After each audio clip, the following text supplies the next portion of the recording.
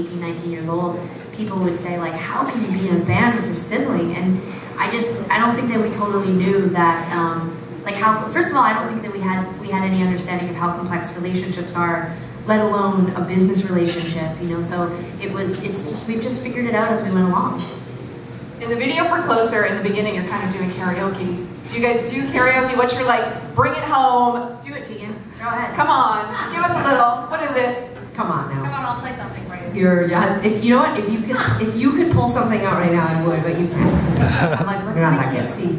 Um, Sara and I really like doing Bon Jovi. Yes, it's like our of big course. go-to when we karaoke. This is the crowd that you want to sing. Yeah. what would be the song though? Um, Sara, Sara doesn't mean um, dead or alive, and um, yeah, everything. Like, wait, to me, it's like new Bon Jovi, old Bon Jovi. I don't care. I don't It's- discriminate. It's very, it's good structurally. It's good, and each section is nice and short. Because that's the problem with karaoke is that you pull out a song you really love, and then you realize that you don't know the bridge, or you don't really know the verses, and so it's like there's nothing worse than a karaoke or a karaoke bomb like that, like where you just get up and you're like, guys, I'm going to do this obscure water track, and people are like, why? So stick with stick with the, what you know, Bon Jovi. Well, usually when I'm in a bar and hear karaoke, they don't sound nearly as good as you. Oh, we do not sound We don't sound good. good during karaoke either. No, No. it's it's shocking actually. I think I think it's almost worth doing like a like a pretend expose on it because people are constantly like, "There's no way," and I'm like, "You just you have no idea." Can we make that happen? It's so bad. How Yes. can we make that know happen? Maybe we'll do. Maybe Next time we're in New York, you guys should come and Yeah, do a pretend try. expose on us. our voices are not made for those tiny little microphones and coming out of that TV stereo system. It's just, it's sort of like, you know when people make jokes about um, like film and how beautiful people look on film and then they do those little HD cameras and they like have like like witches warts and like things. That's like what karaoke does to our voices. Like it's just like, gloomy kind of, people are like, sit down, sit down in the front. I want to ask you about New York. You live in New York a lot of the time. I'm sure you've been here plenty of times. I've been a couple times, yeah. What do you love to do in New York? You don't have to give us specific places. Yes. Where do you hang out? Besides sleep in your own bed. Tell us a bit more about your personal life.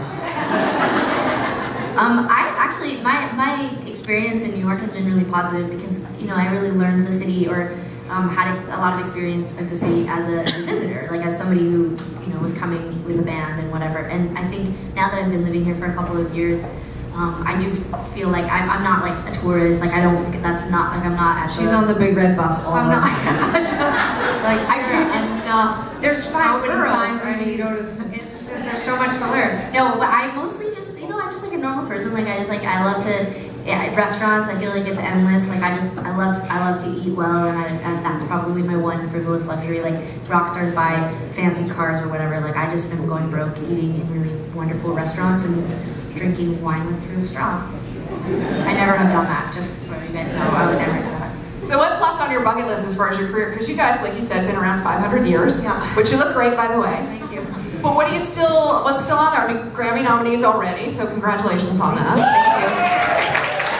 Thank you know, it's funny with each record, similar to like I was saying about you know sitting down to talk about how we want to do things differently with each record to keep it fresh. There's also there is kind of a bucket list type conversation. So with Heartthrob specifically, our, our big three were that we really wanted to go to some new countries, like go explore some new places. You know, there's, there's this whole big wide world out there, and we've seen a lot of it, but we definitely wanted to um, pick some more kind of exotic locations um, slash vacation stops, and then you know a big thing that we really wanted is we've seen over the years um, as, as we've seen our band get bigger that we really wanted to try to you know like I said take a bite out of the mainstream and try to expand our audience a little bit and um, not be so afraid to do certain things. So like last year we went on 90210, which was te- like terrifying slash kind of awesome slash kind of embarrassing and great all at the same time because we're so awkward. And we're like, oh, Beverly Hills 90210, hey, how's it going, everybody? But so like kind of just like push ourselves out of the box and not say no to things that feel awkward and and uh, you know I think the the big one for us right now is just seeing our audience grow and try to get into bigger venues, put on a really big show, and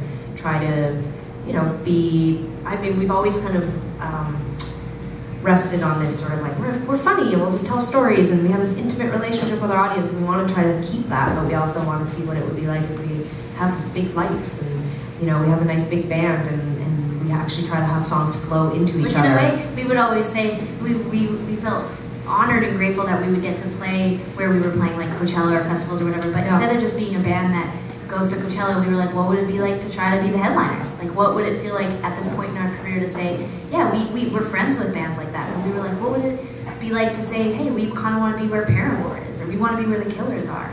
And so we don't, we know we don't get very, we're not going to get very many shots at it because we, I think that we've held back aging, you know, like probably a couple of extra years. But whatever this elixir that the label keeps giving us, I just feel like it's going to catch up, and then the, the witches' warts are going to come out, and then people are going to be like, they're so scary. It's a good match with your karaoke after all. I know. Oh my god. It's also the first time in our career that I really feel like we feel really positive about. I mean, things have changed a lot. When we started out in 1999, you know, there wasn't necessarily always a lot of room for women on alternative radio for sure. And if you were going to get played on pop radio, you had to basically be wearing a bathing suit and dancing, which you kind of still do. But you can you can also, you can also have a snake too. yeah. Well, there's there's definitely more variety, and I think the last couple years we started to see alternative bands breaking on to mainstream and pop radio. You know, you have acts like M83 and the XX and Fun and Florence and the Machine and all these different kind of alternative acts really starting to explore different markets and it felt really exciting for us and so